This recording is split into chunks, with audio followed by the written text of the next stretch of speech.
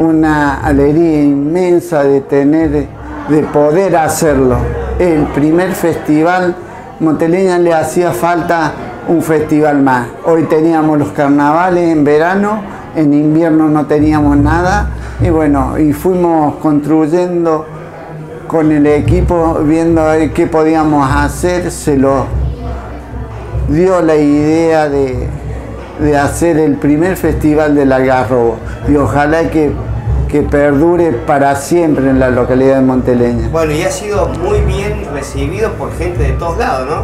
Sí, gracias a Dios eh, ha sido recibido por todos lados, por todos los medios.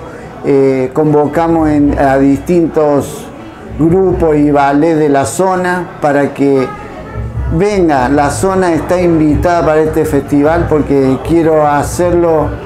Hoy es el primer lanzamiento, la primera edición, pero quiero que sean miles de, ediciones más para que el pueblo de Monteleña tenga su identificación. Tenemos el pueblo lleno de algarrobo en donde el árbol autóctono de nuestro pueblo.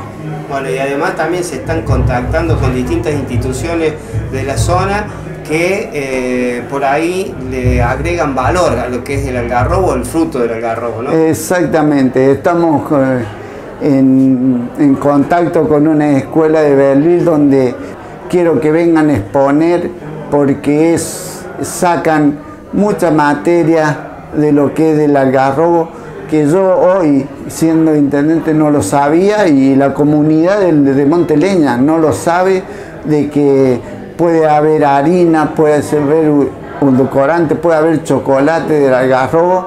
Entonces lo estamos comunicando, eh, creo que se, se, me pasó en alto eso, pero sí eh, ya estamos en contacto y lo estamos convocando. Le vamos a hacer una, una convocatoria a la directora de que vengan a exponer el producto porque es muy importante de hacerle ver a la gente cuando venga al festival que el algarrobo no es tan solo una planta, sino produce alimento también.